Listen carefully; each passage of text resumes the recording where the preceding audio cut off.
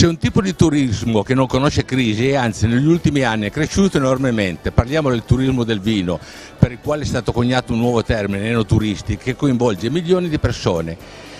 Crea anche nuove situazioni come Wine in Sanremo, una manifestazione appena nata che per tre giorni ha coinvolto la capitale della Liguria di Ponente con oltre 130 produttori che arrivano da tutta Italia ma anche dall'estero come nel caso delle nostre spalle la Bulgaria e 600 vini in degustazione.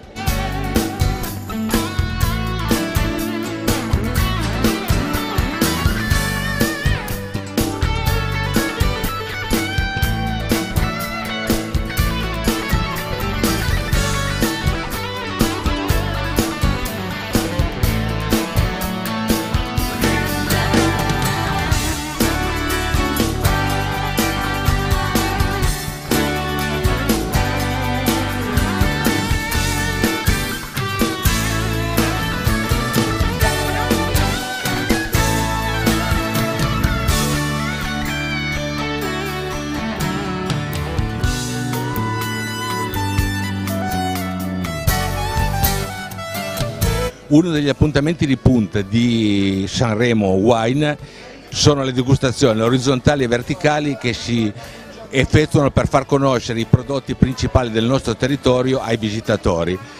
Pio Cesare Franco Alesso, eh, un orizzontale che comprende quali vini? Che comprende i vini Barolo e Barbaresco, nella fattispecie il nostro Barolo classico e il nostro Barbaresco classico, eh, combinati e confrontati con eh, i nostri due cru che sono rispettivamente il Barolo ornato per quanto riguarda il Barolo appunto, un Barolo che nasce da una selezione di uve di Serralunga d'Alba e il Barbaresco il Bricco che invece è prodotto selezionando uve che provengono dalla Cascina e il Bricco a Treviso.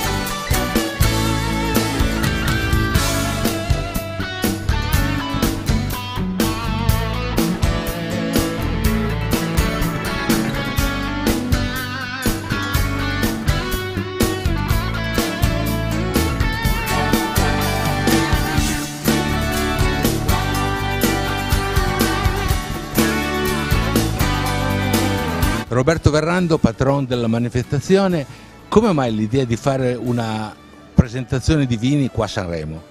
L'idea è nata da, una, da, un vecchio progetto che avevo nel cassetto dieci anni, da dieci anni eh, e anche sulla richiesta di molte persone che frequentano il mondo del vino qua in provincia di Imperia, sia italiani che eh, usufruitori della Costa Azzurra, che mi chiedevano come mai non esiste nulla che presenti il territorio italiano a livello nazionale in questa zona. Io ho detto effettivamente non esiste nulla in Liguria, non esiste nulla in Piemonte, non esiste nulla in Lombardia e non esiste nulla eh, in Val d'Aosta perché abbiamo tantissime fiere settoriali, cioè dedicate a un monovitigno o a una zona tipo il Barolo, tipo il Barbaresco, ma non c'è una panoramica nazionale di quello che è la produzione del vino.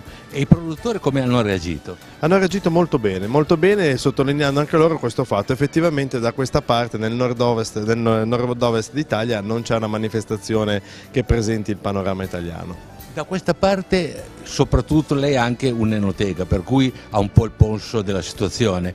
I clienti che tipi di vini vogliono? Ma la clientela oramai eh, diciamo che si è orientata verso un minor consumo del vino ma qualitativamente più alto. Quindi vogliono vini eh, importanti, vogliono vini anche eh, cru, vogliono vini eh, che eh, rappresentino molto il territorio quindi quelli che sono i vitigni magari più rari, meno conosciuti, vogliono spaziare come è giusto che sia perché in Italia abbiamo una varietà di uve fantastiche ed è giusto che ogni giorno uno assaggi un vino diverso. Insomma. Infatti una delle iniziative che presentate durante la manifestazione è anche per valorizzare il rossese che è un vino locale. Sì, attualmente proprio in questo momento c'è la degustazione del Rossese con la presentazione della zonazione, è la prima volta che viene presentata a un pubblico diciamo, eh, di appassionati il, la zonazione del Rossese che come dicevano poco fa è uno dei cru più vecchi diciamo, d'Italia insieme al Barolo e al Barbaresco e finalmente c'è la, la disciplinare che autorizza l'utilizzo della zonazione, quindi della, della dicitura in etichetta dei vari cru di Rossese. Quest'anno si festeggiano i 30 anni della Barbera Bricco dell'Uccellone E proprio per questa occasione Wine in Sanremo, Sergio Zucca, responsabile commerciale di Braida, ha presentato una verticale di quattro annate storiche di questa azienda.